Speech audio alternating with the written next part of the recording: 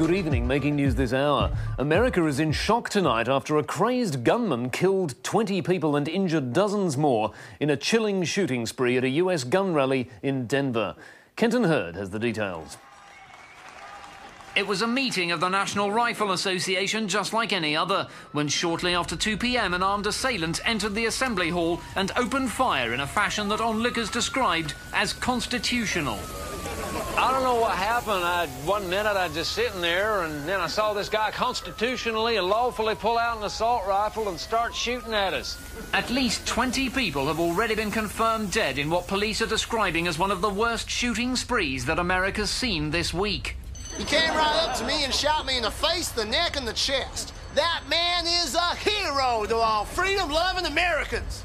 Witnesses said the deadly attack prompted dozens of NRA members to draw their own guns in self-defense, leading to confusion about which gunman was the actual gunman.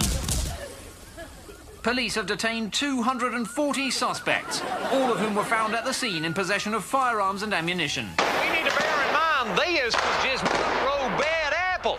We need to remember guns don't kill people. Kenton Hurd, ABC News, Denver. The supermarket war on petrol prices, The Gillard government's war on free speech. war on alcohol, War on retail. War on grocery prices. A war on the sandwich.